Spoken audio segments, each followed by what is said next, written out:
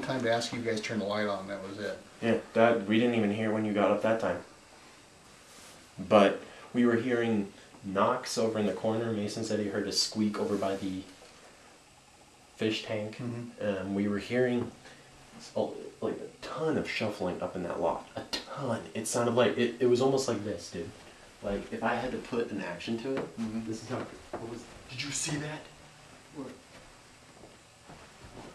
What? Shadow just ran in there. Man, where? Here.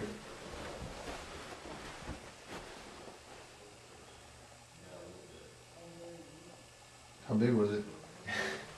You sure wasn't your, sure wasn't your hand? I'm positive. It was this tall.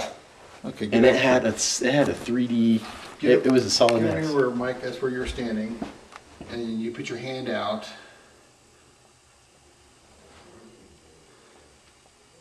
It's not even going over there.